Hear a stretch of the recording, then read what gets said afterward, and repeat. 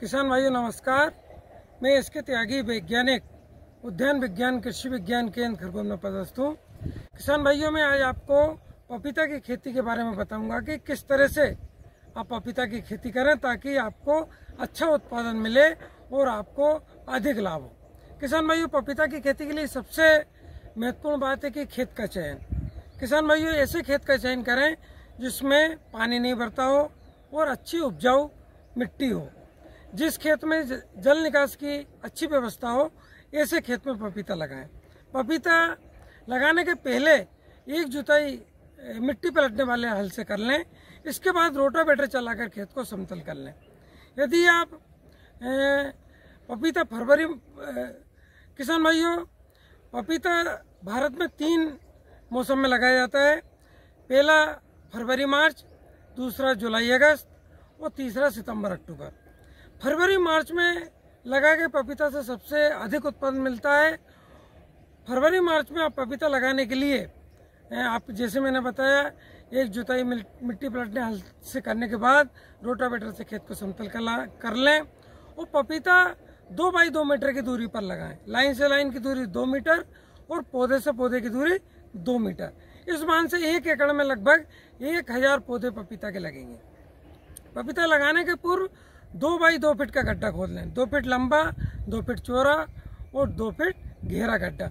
इस दो बाई दो फीट के गड्ढे में लगभग 20 किलोग्राम पकी हुई गोबर की खाद, प्लस 25 ग्राम टाइकोडर्मा बीडी और 500 ग्राम नीम की खली और दो तिहाई मिट्टी मिलाकर गड्ढे को पूरी तरह से भर दें। गड्ढा भरने के बाद उसमें ड्रिप लाइन बिछा दें पपीता की खेती में ड्रिप सिंचाई का उपयोग ज़रूर करें। ड्रिप लाइन लगाने के बाद उन गड्ढों में जो हमने दो बाई दो मीटर की दूरी पर खोदे थे, आप उसमें पौधे का रोपण कर दें। अब किसान भाइयों, प्रश्न उठता है, कौन सी किस्म लगाएँ? तो किसान भाइयों, हमेशा गायनोडाइसियस वेराइटी लगाना चाहिए। इसमें सभी पौधों पर फल आता है। इसमें पूसा मेजेस्टी पूसा डेलीसियस बहुत अच्छी किस्म है हाइब्रिड में अर्का सूर्या साथ में एक ताइवान किस्म red ladies seven eight seven eight six, वो भी किसान भाइयों बहुत अच्छे उत्पादन दे रही है। आप उसका भी रोपण कर सकते हैं। इस तरह से रोपाई करने के बाद नियमित रूप से आप सिंचाई कर लें। पपीते के पौधे को वर्ष भर में एक पपीते के पौधे को 250 ग्राम नाइट्रोजन 250 ग्राम फास्फोरस और 250 ग्राम पोटास की आवश्यकता होती है। किसान भाइयों पपीता में खाद एवं उर्वरकों का उपयोग मृदा परीक्षण के अनुसार करना चाहिए। पौधा रोपाई के पहले आप मृदा का परीक्षण करवा लें और मृदा परीक्षण की अनुशंसा के अनुसार खाद एवं उर्वरों का उपयोग करें। सामान्यतः पपीता के एक पौधे को वर्ष भर में 250 ग्राम नाइट्रोजन 250 ग्राम फास्फोरस और 250 ग्राम पोटास की आवश्यकता होती है। इसको, किसान भाइयों, लगभग छह भागों में बांटकर, छह बराबर भागों में बांटकर पौधरोपण के दो माह बाद से खाद एवं उर्वरकों का उपयोग शुरू करें, क्योंकि शुरुआत में यदि हम अधिक खाद दे देंगे, अधिक उर्वरक दे देंगे तो पौधे की वृद्धि तेज हो जाएगी, फिर उसमें अधिक ऊंचाई से फलन होगी, जिससे हमें आर्थिक हानि होती है। इसलिए पौधरोपण के दो माह बाद से उर्वरकों का उपयोग करें। जैसे मैंने बताया, एक पौधे को 250 ग्राम नाइट्रोजन 250 ग्राम फास्फोरस और 250 ग्राम पोटास की आवश्यकता होती है।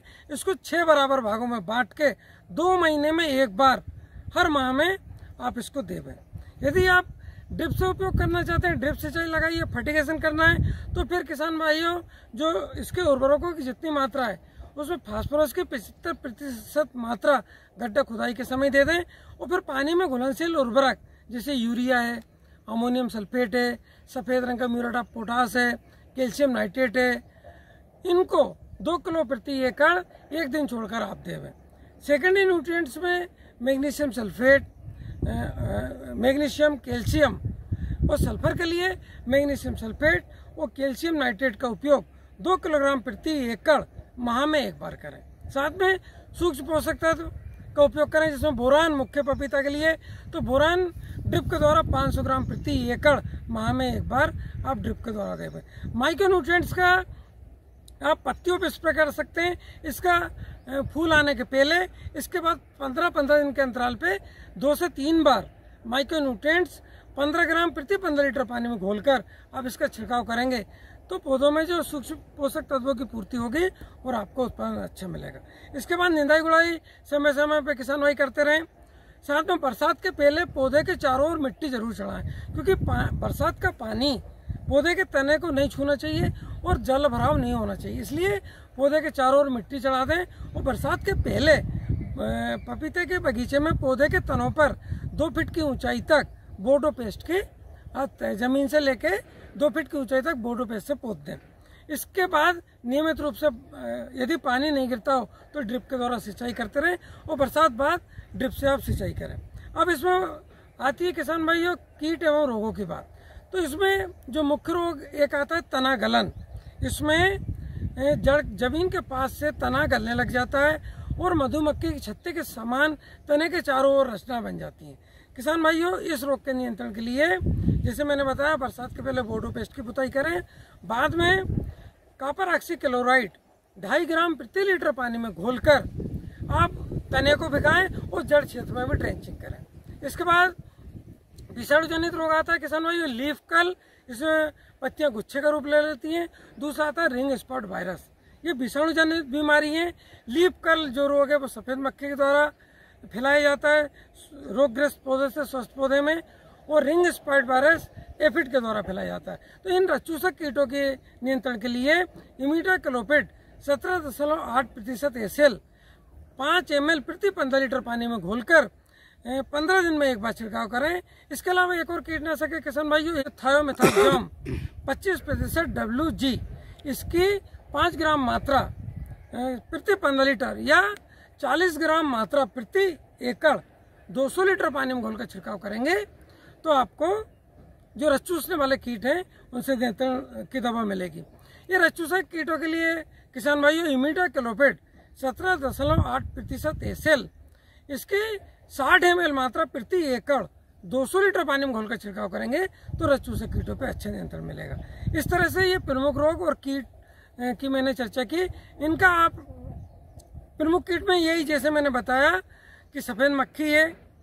इसके लिए हमें इमिडाक्लोपिड सत्रह दशमलव आठ प्रतिशत एस एल साठ एम प्रति एकड़ दो सौ लीटर पानी में घोलकर छिड़काव करें, एवं थायोमिथोक्जाम इसकी 40 ग्राम मात्रा प्रति एकड़ 200 लीटर पानी में घोलकर छिड़काव करेंगे।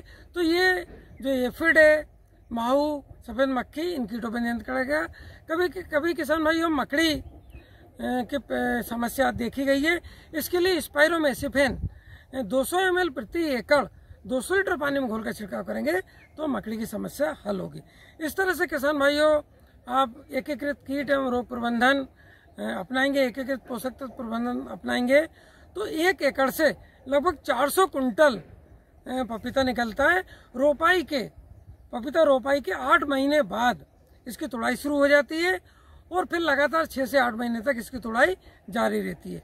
एक एकड़ से किसान भाई लगभग 400 कुंटल पपीता निकलता है और यदि बाज़ार में औसतन ही आठ रुपये किलो बिकता है तो लगभग तीन लाख बीस हज़ार रुपये का पपीता एक एकड़ से निकलता है, जिसमें लगभग एक लाख रुपए प्रति एकड़ लागत आती है। इस तरह से हमें किसान भाई दो से दो लाख बीस हज़ार रुपये प्रति एकड़ पपीता से शुद्ध मुनाफा होता है। बहुत बहुत धन्यवाद।